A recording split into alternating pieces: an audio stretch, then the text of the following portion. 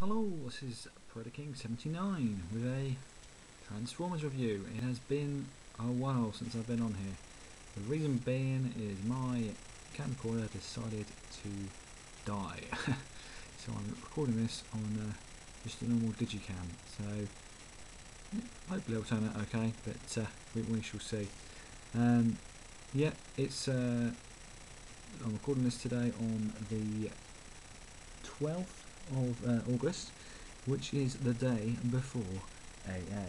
Um, so I thought, you know, it's day before AA, let's get a couple of reviews out and get me in the mood. I'm going up tomorrow, I can't wait, it's going to be awesome. Um, but anyway, uh, this, as you can see, is Generation 1 Triggerhappy, one of the first wave of Target Master Transformers, um, a Decepticon obviously. Um, Triggerhappy and his Nebulon companion Blowpipe. Blowpipe here. Okay, nice little, nice little figure there. Um, I'll move Blowpipe to the side for a moment. Have a look at Triggerhappy. Um, in my humble opinion, probably the best Decepticon Target Master. As you can see, he's a very cool uh, alt mode. Just look at the size of those guns. no messing with him.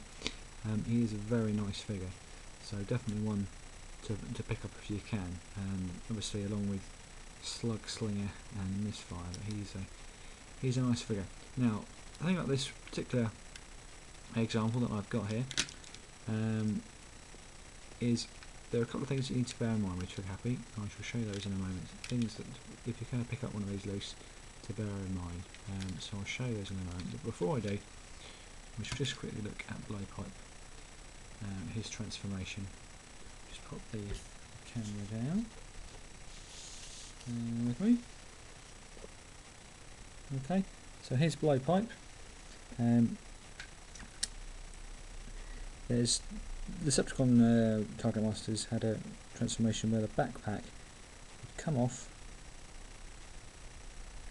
like so, um, and then you would just basically flip the legs up like that and then slot the backpack into the front here to become a gun. Um, it's a cool, uh, a cool design feature. Um, the gun looks better, I think, than just the fold-over transfer uh, target masters. Um, but bear in mind, obviously, that you can lose this quite easily. So make sure that this is with this guy when you pick him up. Okay, um, so that's blowpipe in, in gun mode. What about Triggerhappy himself? Well, things I told you to watch out for. Um, if you can see on on these guns here that fold down, there's a pin just there, a clip. See that? Make sure that is intact. As with this one, it's not, um, which means they don't stay in place quite so well um, without it. So just bear in mind that. But we'll transform him quickly. Um, it's very, very cool little transformation. Just fold the wings back down like that. Bring the uh, guns up. Okay. Now they should clip into place nicely. These are very very loose, so bear in mind as well when you're picking up a figure. Make sure that they're they're not too loose, and if they are, make sure it's priced accordingly. Obviously still transform it, okay, but uh, just bear that in mind. Okay, here's the uh, cockpit. That just comes up like so, like that. Okay, and his head is on a little spring at the back. Just push it forward and then up he pops, like so, rearing his head. Um, right on the back, I don't know if you can see, there's a little raised bit there. Make sure that's intact, otherwise the head won't stay in place, which is uh, obviously no good to anyone. So make sure that's intact. Okay. And then the legs come round, like so. Okay, pop his feet out,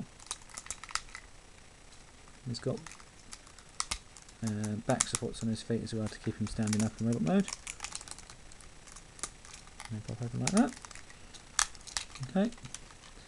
And then the arms just pop up like that, and the hands pop out like so.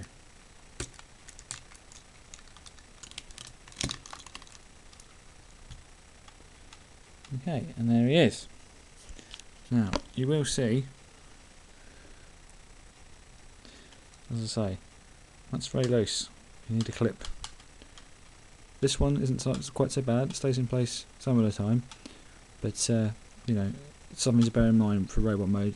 Unfortunately, I have to resort to tacking him in place or having his arms like that if I'm displaying him, uh, which doesn't look as good, obviously. Uh, but he's a cool, he's a very cool robot mode. And obviously the head's different to how he was in the cartoon. He only appeared in the rebirth. Um, but you know, he's an awesome character in that. Just a complete, uh, well, as his name suggests, trigger trigger happy maniac. He was he was quality. But the head's different. He's got a mouth and face. Mouth and face, nose and mouth. Look, that's a bit blurry, but yeah, nose and mouth that he didn't have as the um, the cartoon character. Had sort of the Optimus Prime grill. But anyway, there's blowpipe. Blowpipe fits in his hand like so. Um, you know, you had a cool little um, play feature in that you can have his guns out in robot mode as well, so you can you can proper tool him up if you want to, which is which is nice. But uh, yeah, he is a um, in my opinion, as I say, he is the best uh, the best looking of the Decepticon Target Masters, um, and definitely worth picking up. Um, price wise, I always like to give you a price indication if I can. An example like this, this was only about two or three pound because of the problems with the guns. Um, Blowpipe was a region of fifteen pound. That's about average for for a Target Master gun. Um, together, these guys you could be looking to pay, I'd say, a region of 30, good, 30 quid for a good example. Certainly don't pay any more than that. Um, but yeah, if you can pick this guy up, and then as, as I always say in most of my reviews, then it's definitely worth picking up. But just be careful.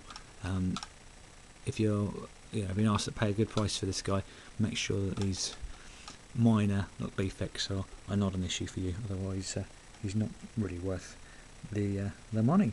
All right. Anyway, I hope you enjoyed the review, and uh, I shall see some of you at AA, no doubt. Uh, this is Predaking79. I'll catch you next time.